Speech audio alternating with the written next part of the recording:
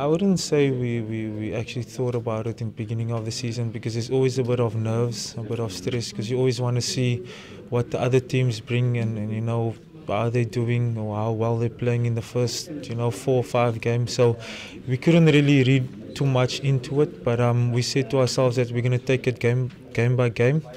Um, fortunately, we, we know we have been doing well. We South African conference leaders, so that must say something about our structures and uh, the coaching plans that we have in place at the Stormers. So, um, to answer your question, it was on our minds, but we didn't read too much into it. But um, as the season went by, we just took it game by game.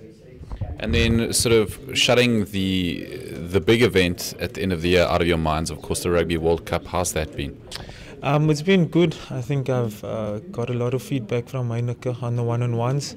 It's been positive and also a lot of negative things in terms of what I need to work on. And um, one of the big things was that you know I need to play more, and um, there was a plan in place for me, like I said earlier, yeah, in the, the media conference, and. Uh, everyone's playing for a Springbok spot, um, and that's why the derbies are so close. I mean, you, you witnessed that last week against the Lions. So, uh, um, and you know, and, the loose forward department, it's it's really tough. I think there's about 15 great, you know, world class loose forwards in South Africa, and then you also have to go look at it as as a you know whole worldly kind of uh, basis. So. Um, I mean, just to mention a few, there's, there's obviously Duane Vermeulen, Siya Kolisi, Warren Whiteley, Pierre Spies, Willem Alberts, Marcel Coetzee, I can go on and on. So uh, for me, it's it's going to be a difficult uh, department to compete against, but I'm really, you know, looking forward to. And obviously, I would like to be in that squad because um,